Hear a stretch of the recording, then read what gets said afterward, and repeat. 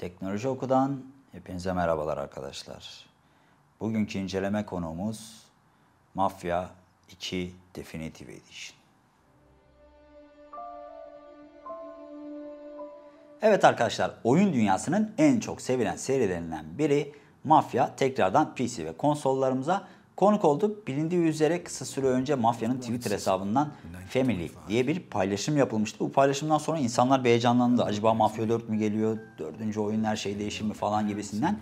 Lakin Mafya 4 yerine ilk 3 oyunun Definitive Edition'ın çıkacağı duyuruldu ve biz de bunlardan ikincisinin incelemesiyle karşınızdayız. İncelemeye geçmeden önce sizlere şöyle bir hatırlatmada bulunmak istiyorum. Mafya 2 ile Mafya 3'ün normal sürümleriyle Definitive Edition'ları arasında öyle muazzam farklar bulunmuyor arkadaşlar. Fakat Mafya 1 biliyorsunuz çok eski bir oyun. Onu remake olarak yapacaklar. Yani aynı bu Resident Evil 2'de olduğu gibi grafikler falan tamamen değişecek. Her şey yenilenecek ve muazzam bir oyun deneyiminin bizleri beklediğini söyleyebiliriz. Zaten çıkış ta takvimi de o yüzden biraz şaştı böyle. Normalde hani bilirsiniz ilk önce birinci oyun, ikinci oyun, üçüncü oyun diye çıkar. Lakin Mafya 1 en son çıkacak. En önce ikinci oyunun kodu geldi bize. Daha sonra üçüncü oyunun kodu geldi. Ve en son olarak da muhtemelen Mafya 1 gelecek. Onun incelemesini biraz daha böyle geniş ve aksiyonlu yapacağız. Dilerseniz lafı daha fazla uzatmadan Vito Scaletta'nın hikayesine odaklanalım. Biliyorsunuz Mafya 2 yaklaşık olarak 10 yıl önce yani 2010 yılında raflardaki yerini almıştı. Vito Scaletta'yı kontrol ediyorduk bu oyunda. Nitekim Definitive Edition'da da değişen bir şey yok. Yine Vito Scaletta'yı kontrol etmeye devam edeceğiz. Tabi Definitive Edition olduğu için işte bu sonradan gelen ek paketler ne bileyim silahlar milahlar her şey oyunda mevcut. Bunu sizlerle dipnot olarak paylaşalım. Yani öyle oyunu aldığınızda acaba şu ek içerik için ek ücret öder miyim gibi düşüncelere kapılmamanız gerekiyor. Oyun bildiğimiz Mafya 2 arkadaşlar. Grafiklerde de öyle aman aman bir değişim yok. Hatta ben bir şeyi fark ettim. Ee, normal oyunda FPS düşümleri bu kadar fazla olmuyordu. Fakat Definitive Edition'da biraz daha böyle sanki donmalar kasmalar yaşanıyor gibi hissettim. Ki birçok forumlara baktığımda onlar da bu durumla karşılaşmışlar. Yani bu konuda hemen hemen herkes hem fikir diyebilirim. Lakin bu ufak bir yamayla halledebilecek bir sorun. Yani çok da önemli değil. Bunu da sizlerle paylaşmış olalım. Oyunumuzun hikayesinden kısaca bahsedelim arkadaşlar. Biliyorsunuz mafya oyunlarında direkt olarak böyle bir mafya içine dalmıyoruz. Yani oyun başladığında hemen böyle mafyadaymışız gibi bir hava yansımıyor. Nitekim ikinci oyunun hikayesinde de böyle balıklama olarak mafyaya girmiyoruz.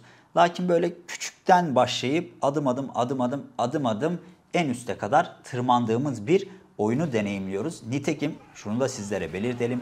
Mafya 3'te de biliyorsunuz Vito Scaletta karakteri yer almaya devam ediyor. Ana karakterimiz değil ama oyundaki önemli yan karakterlerden biri olarak karşımıza çıkıyor.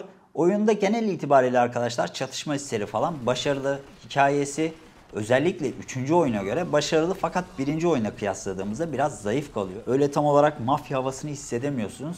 Fakat yine de 3. oyun kadar saçma değil. En azından tek başınıza böyle gidip koca koca birlikleri, koca koca depoları basmıyorsunuz. Bu da oyuna artı bir yön kazandırmış diyebiliriz. Eğer böyle mafya hikayesi, mafyavari tarzı oyunlardan hoşlanıyorsanız zaten bu yapımın bir alternatifi bulunmuyor.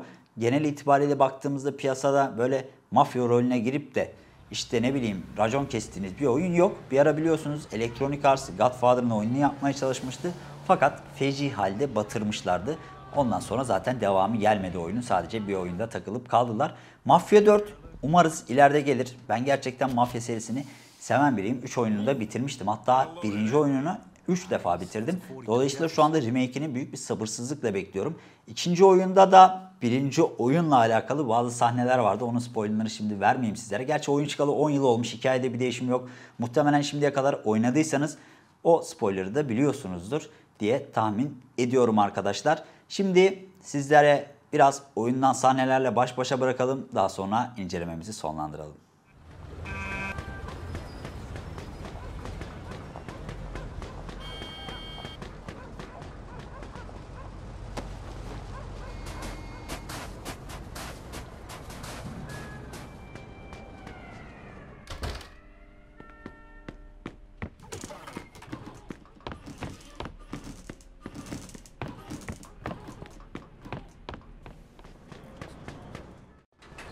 Hey, uh, you think I could, uh... What? Drive, Vito? The roads. That's the pedal over there on the right. I know, Joe, I know. Okay, now make a right here. Then just go straight for a while. Hey, whoa, whoa, whoa. Slow it down a bit. No need to get pulled over for no reason. Hey, who's that guy back there? What guy? The guy at the body shop. Oh, Tommy. He's my buddy's nephew. He's kind of quiet, but let me tell you, the kid's some hell of a dancer. Saw him at the old dance hall in Oyster Bay a couple of weeks ago. He had all the broads going nuts. Do I detect a hint of uh, jealousy? Are you kidding? I don't need no dance moves. I got charm, my friend. Here, I'll give you some of my lines, so maybe you won't have to spend... Hey, what the fuck are you doing over there? Ah, shit.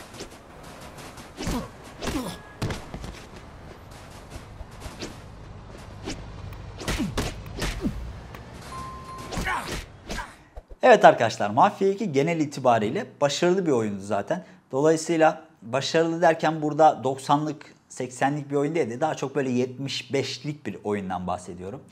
Beklentilerinizi karşılayacak bir yapımdır. Eğer mafya hikayelerini böyle seviyorsanız deneyimlemenizi tavsiye ederim. Fakat her şeyden önce mutlaka ve mutlaka önümüzdeki günlerde çıkacak olan Mafya 1 Remake'i satın almanızı tavsiye ederim arkadaşlar. Başka bir videoda görüşmek üzere. Hoşçakalın. Bizleri sosyal medya hesaplarımızdan takip etmeyi unutmayın.